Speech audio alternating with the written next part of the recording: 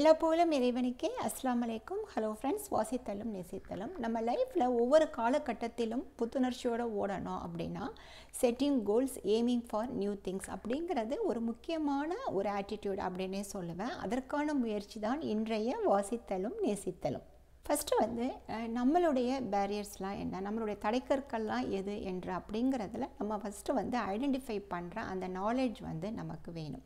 எல்லோருக்குள்ளேயுமே ஒரு self doubt அப்படிங்கிறது எல்லா காலகட்டத்திலுமே வரக்கூடியது தான் ஆனால் நம்ம பண்ணக்கூடிய முட்டாள்தனம் என்ன அப்படின்னா அதன் மேலே நம்ம நம்பிக்கை வைக்கிறது தான் ஸோ நம்மளுடைய எமோஷன்ஸ் அப்படிங்கிறது எதன் அடிப்படையில் இருக்குது அப்படின்னா நம்மளுடைய எண்ணங்கள். அதனால தான் எவ்ரிடே நம்ம எந்த மாதிரியான எமோஷன்ஸ் வந்து நம்ம கோ த்ரூ பண்ணுறோம் அது ரெண்டாவது ஃபீலிங் ஹெல்ப்லெஸ் அபவுட் சுச்சுவேஷன்ஸ் ஒரு சூழ்நிலையை பார்த்து நம்ம வந்து பயப்படுறோம் இல்லையா? ஸோ இந்த பயம் அப்படிங்கிற அந்த எமோஷன்ஸ் வந்து எப்படி நமக்குள்ளே வந்து உருவாகுது அப்படின்னா இது எல்லாமே நம்மளுடைய ஒரு கற்பனை தான். இதை நம்ம ஏற்கனவே பார்த்துருக்கோம். ஸோ எப்போவுமே ஒரு ஒஸ்ட் கேஸ் சினாரியோ அப்படிங்கிறத நம்ம வந்து ஒரு விஷுவலாக நமக்குள்ளே நம்ம இமேஜின் பண்ணும் பொழுது தான் நமக்குள்ளே இந்த எமோஷன்ஸ் அப்படிங்கிறத மாறுபடுது அப்படின்னே சொல்லலாம்.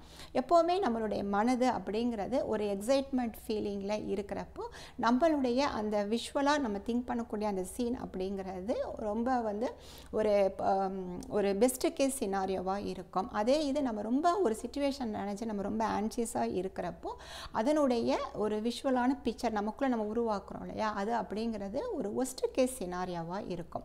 ஸோ அதனால் நம்மளுடைய மைண்டை வந்து நம்ம எப்போவுமே அதாவது மைண்ட் அப்படிங்கிறத விட நம் நம்ம வந்து டே டு லைஃப்பில் எந்த மாதிரியான ஒரு எமோஷன்ஸ்லாம் கோ த்ரூ பண்ணுறோம் அப்படிங்கிறதுல நம்ம ஒரு தெளிவாக இருக்கணும் அப்படிங்கிறது தான். ஸோ தெளிவான மனது தான் ஒரு ஆரோக்கியமான முடிவுகள் சிந்தனைகளோடு இருக்கும்.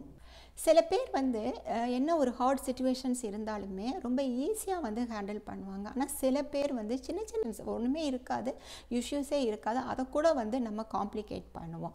பொதுவாக நம்ம வந்து சூழ்நிலைகளை கையாளும் விதம் அப்படின்னு ஒன்று இருக்கு இல்லையா? அதன் எதன் அடிப்படையில் இருக்குது அப்படின்னா நம்மளுடைய எமோஷன்ஸ் அப்படிங்கிறது தான்.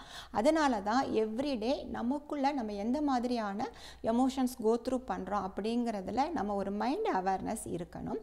ஸோ எப்போவுமே நம்ம ஒரு நெகட்டிவான ஒரு எமோஷன்ஸ் கோ த்ரூ பண்ணுறோம் அப்படின்னா இதற்கான காரணம் என்ன? இதற்கான ட்ரிகர் பாயிண்ட் என்ன? இதற்கான ரூட் காஸ் என்ன? அதை நான் எப்படி வந்து ரெக்டிஃபை பண்ணணும்? இதை எப்படி நான் வந்து மாற்றி யோசிக்கணும்? அப்படிங்கிற அந்த ஒரு எழுதுகிற பழக்கம் நமக்குள்ளே நம்ம கொண்டு வரும் பொழுது ஒன்ஸ் வந்து நம்மளுடைய எமோஷன்ஸ் எல்லாமே நம்ம வந்து ஒரு கரெக்டான ஒரு ஒரு ஒரு பேஸில் நம்ம வந்து எடுத்துகிட்டு போகிறப்போ நம்மளால் வந்து சுச்சுவேஷன்ஸ் அப்படிங்கிறத ஒரு தெளிவாக ஒரு ஒரு கிளாரிட்டி மைண்ட் செட்டோட நம்ம அதை உற்று நோக்கும் போது நமக்கு வந்து அது வந்து ஒரு ஈ ஈஸி கோயிங்காக இருக்கும். ரொம்ப வந்து ஒரு டஃபஸ்ட் டாஸ்க்காக வந்து அந்த ஜேர்னி நமக்கு இருக்காது.